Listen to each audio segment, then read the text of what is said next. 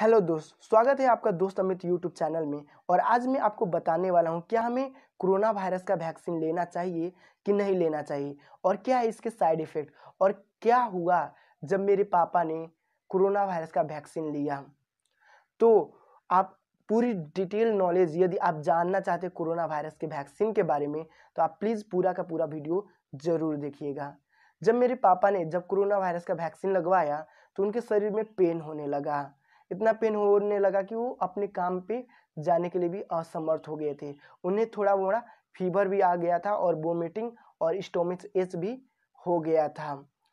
तो एक चीज़ मैं बता दूँ, ये एक नॉर्मल सा सिम्टम्स है। जब कोरोना वायरस का वैक्सीन हमारे शरीर में लगता है तो हमारे शरीर में कुछ इम्यूनिटी बिल्डअप होती हैं, जिसके कारण से हमारा शरीर एबनॉर्मल बिहेव करता है।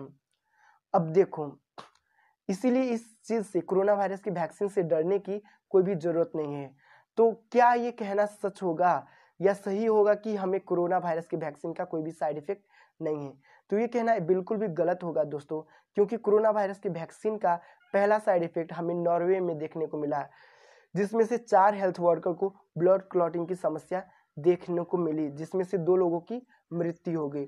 उसी तरह डेनमार्क में भी एक आदमी की मृत्यु हो गई। इटली में भी एक महिला की मृत्यु हो गई और यूके में सात लोगों की मौत अभी तक ब्लड क्लॉटिंग से हो चुकी है।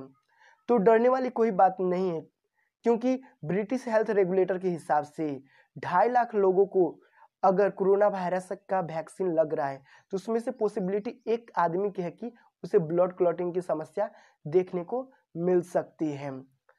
और एक इंटरेस्टिंग फैक्ट मैं ये बता दूँ कि अभी तक और एक इंटरेस्टिंग फैक्ट मैं ये बता दूँ कि अभी तक इंडिया में एक भी ब्लड क्लॉटिंग की मामले दर्ज नहीं हुए। अब क्या पता सरकार हमसे ये डेटा छिपा रही है कि सच्चाई है, ये मैं नहीं जानता। और एक चीज़ और, अभी तक जो ब्लड क्लॉटिंग के मामले सामने आए हैं, उसमें से उन एज ग्रुप के सामने आए हैं जो 40 वर्ष से नीचे थे। और एक इंटरेस्टिंग फैक्ट मैं ये बता दूँ कि अभी तक स्ट्राजेनिका जिन जिन को लगा है उसमें से ब्लड क्लॉटिंग की समस्या उनको ही जमा देखने को मिली, जिसकी एज ग्रुप 40 से कम है। अभी तक वर्ल्ड वाइड में जिसको भी एस्ट्राजेनिका लगा है, उससे 40 वर्ष के ऊपर के लोग को ब्लड क्लॉटिंग की समस्या देखने को नहीं मिली है। और मैं आपको बता दूँ, कोरोना वायरस को कम्प्लीटली क्योर करने के लिए हमें दो में वैक्सीन लगवानी पड़ती है। एक है एस्ट्राजेनिका एक है कोविशील्ड और अभी तक कोविशील्ड का एक भी साइड इफ़ेक्ट देखने को नहीं मिले, मात्र हमें एस्ट्राजेनिका की साइड इफ़ेक्ट देखने को मिले। और इस साइड इफ़ेक्ट को देख के बहुत सारे देशों ने, दस बारह देशों ने इसे अपने देश में टेम्प्रोरली बैन कर दिया है, जिसमें से यूके है डेनमार्क है इटाली है ऑस्ट्रेलिया है, जिन्होंने अभी तक कोरोना वायरस की वैक्सीन पे बैन लगा दी है टेम्पोरली तो क्या हमारे देश में भी कोरोना वायरस का वैक्सीन टेम्प्रोरली बैन होना चाहिए कि नहीं होना चाहिए?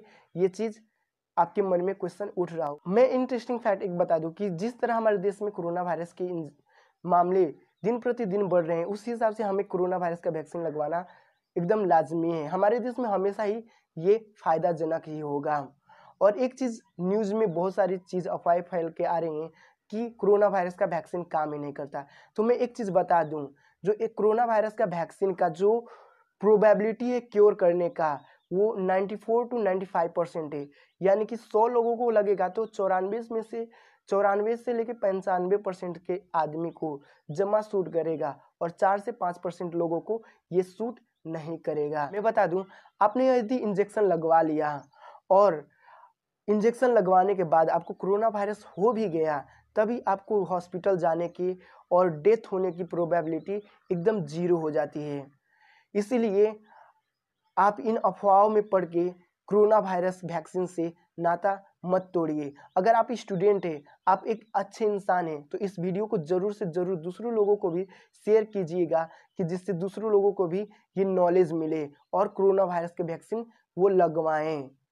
तो आज के लिए बस इतना ही। आपसे हम कल मिलेंगे। तब तक लिए गुड बाय।